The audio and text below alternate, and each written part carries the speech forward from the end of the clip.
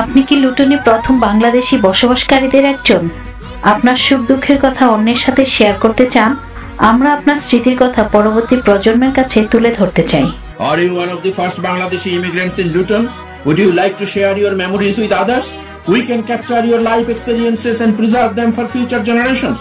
For details, please contact Muajjem Hussain 07951 505403, Dr. Anwarul Haq 07960 486709.